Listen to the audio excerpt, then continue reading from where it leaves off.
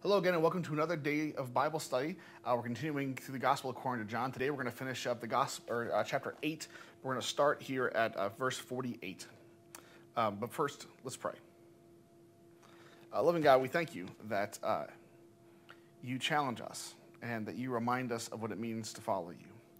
Uh, Lord, it's so easy for us to measure you by what we think we know uh, by what we've seen you do in the past and what we hope you might do in the future. And Lord, when you come along and do something totally different from that, uh, we're not always ready for it.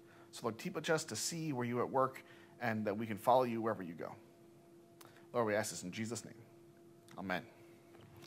So uh, we're picking up here in verse 48 where it says, The Jews answered and said to him, Jesus, do, you, do we not say rightly that you are a Samaritan and have a demon? Uh, Jesus answered, I do not have a demon, but I honor my Father, and you dishonor me. But I do not seek my glory. There is one who seeks and judges.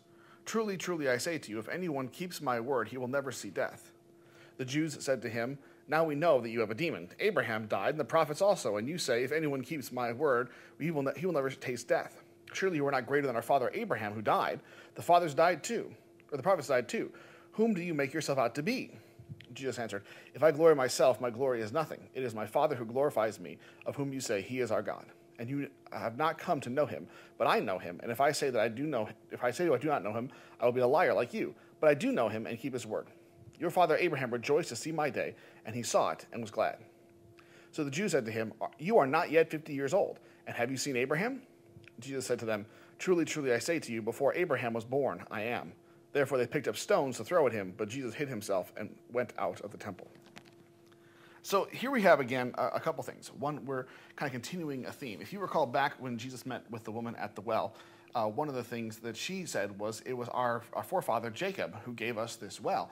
And she raised the question, You're not greater than Jacob, are you?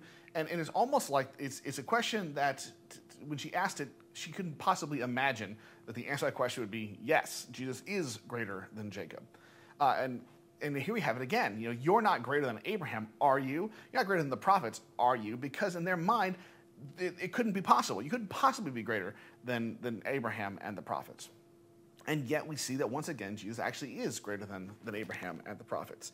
And, and it, we can see that they understood what he was trying to get at because once again we read at the end, therefore they picked up stones to throw at him, which is, uh, you know, um, uh, Jesus hid himself and went out of the temple. So we, we had this earlier where Jesus was saying, For which of my good deeds are you going to stone me? And they say, We're not going to stone you for a good deed, but that, because you, though only a man, have made yourself equal to God. And I think it's really important to realize that um, every once in a while you will hear somebody say something along the lines of Jesus didn't really know or didn't believe that he was God. He was just kind of a messenger from God. And the problem with that is we have moments like this where Jesus is saying things like, you know, uh, my Father who is your God, you know, he, and uh, so yeah, yeah, it is my Father who glorifies me, of whom you say he is our God. So Jesus is saying, the one you call God, I call Father.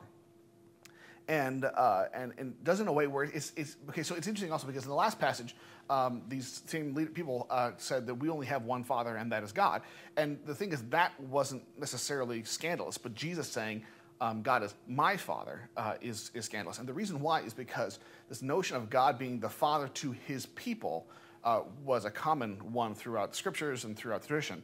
Um, but the idea that Jesus would say, God's not just our father, and he's not just my father because I am one of God's people, but he is my father uh, in a very specific, particular sense. Everybody interpreted that as saying that he was equal to God. And in fact, we saw that you know, earlier when we said they were going to pick up stones to stone him. Um, so here we have, once again, Jesus saying, um, not actually saying the words, I am God or I am God's son, uh, but saying everything but those words directly. And everybody around him knew it and knew it so strongly that they were ready to kill him for it.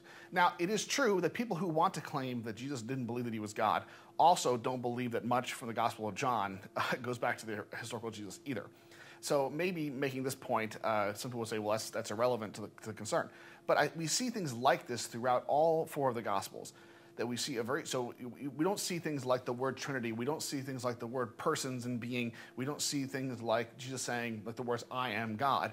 Uh, but the point is, what he does say and what he does do makes that point actually more clearly than just saying those words would ever do.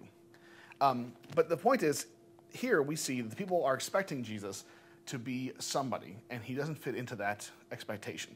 They think he's just some guy who's come along and made himself equal to Abraham. And Jesus is actually saying, um, by his deeds and by his actions, that actually he is far, far uh, above where Abraham was. And the people were not prepared to accept that. They wanted a Jesus who did certain kinds of things and didn't do other kinds of things. And Jesus comes in and throws a wrench into all of that.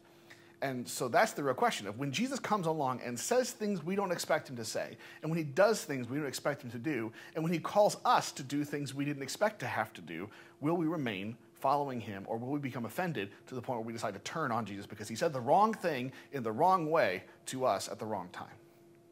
Uh, it's hard work following Jesus. Um, and the thing is, we have to follow Jesus more closely than we follow people who are willing to turn on if they just say the wrong thing at one point. So, uh, my encouragement for you this week is to continue on reading the Gospel of John. We'll come back again tomorrow and we'll start with the next chapter. Have a good day.